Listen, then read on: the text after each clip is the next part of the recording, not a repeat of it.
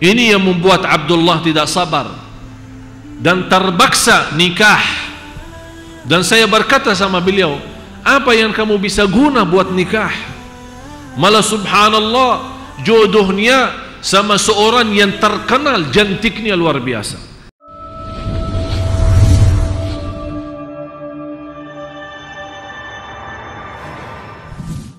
Ada seorang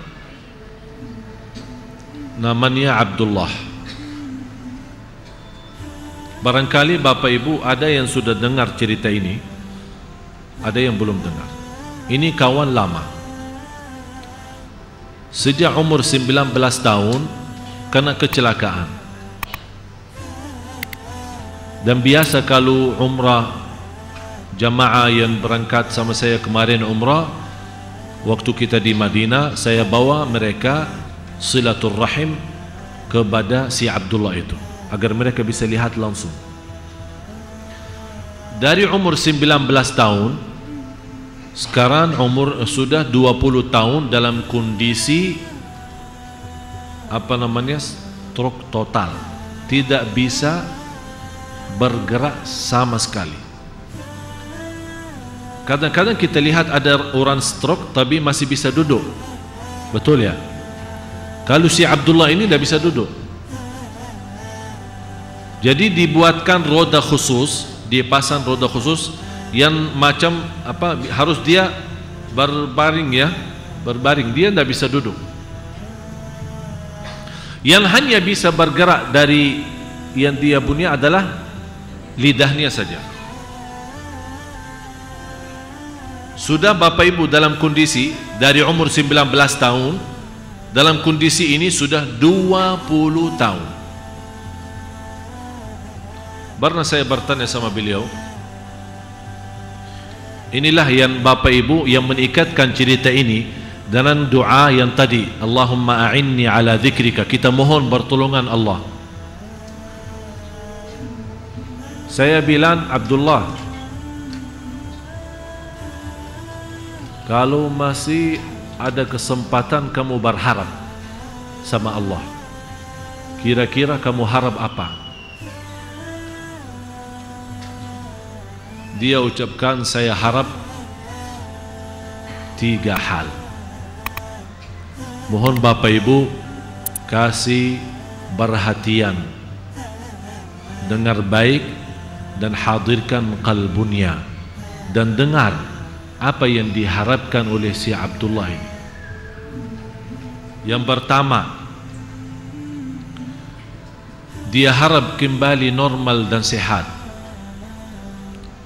Walaupun satu jam agar bisa menikmati sujud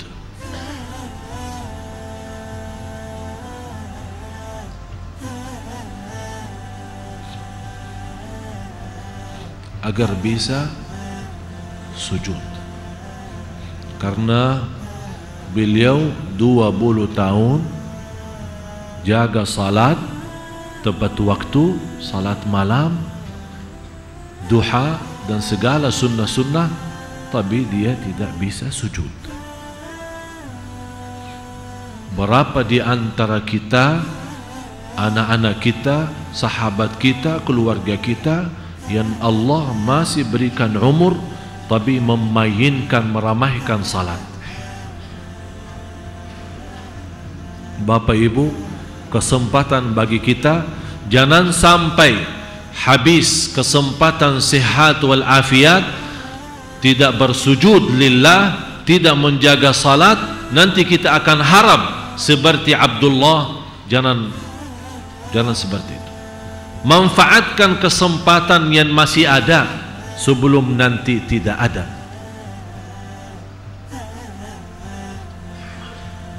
Menurut saya orang yang diberikan oleh Allah umur dan sehat wal afiat dan dia ketiduran subuh memainkan salat dan tidak pernah menjaga salat tahajud atau tidak salat sama sekali hanya Jumat seminggu sekali sungguh orang itu sombong dan kita tahu orang yang sombong berani lawan Allah. Dan barang siapa yang lawani barang Allah dalam kesombongan tidak akan masuk surga.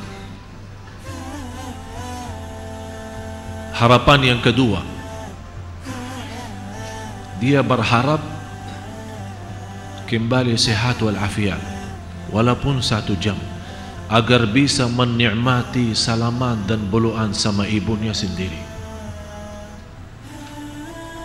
karena sudah 20 tahun bapa ibu dia tidak bisa menikmati salaman sama ibunya. Setiap datang adiknya maupun kakaknya datang bersalaman dengan ibunya dan mereka memeluk ibunya dan senang dan bercium dengan ibunya dia nangis saja. Dia tidak bisa menikmati sudah 20 tahun. Cuba bagaimana kita yang masih Allah berikan kesempatan malah kita lawan orang tua malah menyakiti orang tua malah durhaka kepada orang tua. Selama mereka masih ada dua-duanya maupun salah satunya berarti pintu surga masih terbuka. Bapak Ibu yang dimuliakan Allah setiap kesenyuman di wajah kedua orang tua karena ketaatan kita kepada mereka akan mengundang rahmat dan membuka pintu surga. Dan setiap titis air mata di wajah orang tua karena kedurhakan kita kepada mereka wallahi akan mengundang azab dan membuka pintu neraka. Silahkan anda milih anda mau yang mana. Tinggal anda milih. Si Abdullah sudah tidak sabar lagi. 20 tahun dia melihat saudaranya mampu bersalaman dengan senang dengan ibunya sendiri dia tidak bisa menikmati itu. Dia harap kembali sehat walafiat agar bisa berbuluk dengan ibunya dan bercium dengan ibunya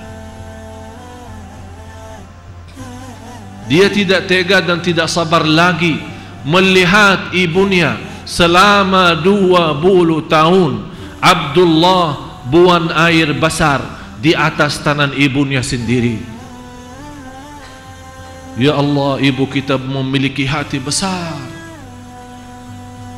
Siapa di antara kita yang tega untuk menaruh tanahnya di atas seorang yang dia tidak kenal atau seorang yang dia kenal tapi bukan ada hubungan keluarga atau sebagai anak menaruh tanahnya dengan ikhlas untuk membawa air besarnya. Ini yang membuat Abdullah tidak sabar dan terpaksa nikah. Dan saya berkata sama beliau, apa yang kamu bisa guna buat nikah? Malah subhanallah jodohnya sama seorang yang terkenal jantiknya luar biasa. Dan saya bertanya sama istrinya, kamu apa apa yang kamu harap dari Abdullah orang-orang yang tidak bisa apa-apa? Apa dia jawab? saya yakin masuk surga liwat Abdullah kata seorang istri yang luar biasa jantiknya masih muda tapi dia tahu suaminya tidak bisa apa-apa dan suaminya memaksa diri untuk menikah walaupun tidak mampu apa-apa karena dia sudah tidak tega untuk membuang air besar di atas tanah ibunya. Bapak ibu memanfaatkan kesempatan yang masih punya orang tua yang masih memiliki orang tua. Wallahi kesempatan kita bisa dengan mudah masuk surga Allah segala ibadah kita diterima. Kalau orang tua kita rida dan senang. Berusaha. Yang punya orang tua tapi jauh tempatnya bukan di Jakarta. Dan kita pindah ke Jakarta. Jangan lewat satu hari belum angkat telefon mendengar suara mereka. Dan berkata-kata yang manis yang menenangkan hati mereka. Karena sungguh apa yang kita berbuat terhadap mereka. Dengan ucapan yang baik yang membuat orang tua senang membuat orang tua senyum Allah sendiri akan senang.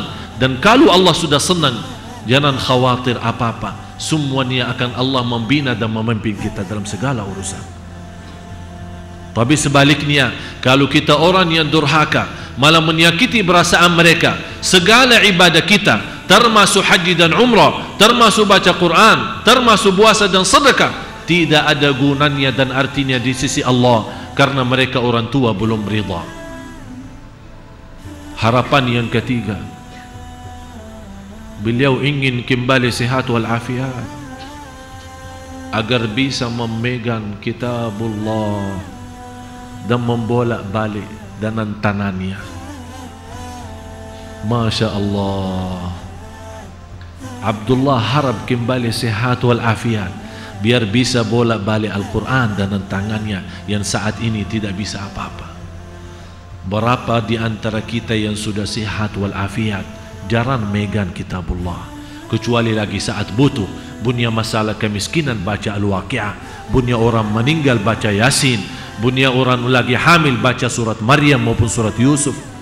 Habis itu sudah kita. Padahal Allah memberikan kenikmatan tangan dalam kondisi sehat ini Abdullah yang sudah bapa ibu 20 tahun. Dia tidak bisa megang Quran dia punya harap bisa megang dan membolak balik halamannya saya nasihati bapa ibu saya mohon dalam segala hormat jangan lewat satu hari belum megang kitabullah walaupun baca satu ayat satu ayat kita tunjukkan kepada Allah Terima kasih Allah engkau memberikan anugerah taufikmu dan memberikan kepada kami sihat wal afiat. Masih engkau mengizinkan kami berzikir kepadamu. Masih mengizinkan kami masih punya umur.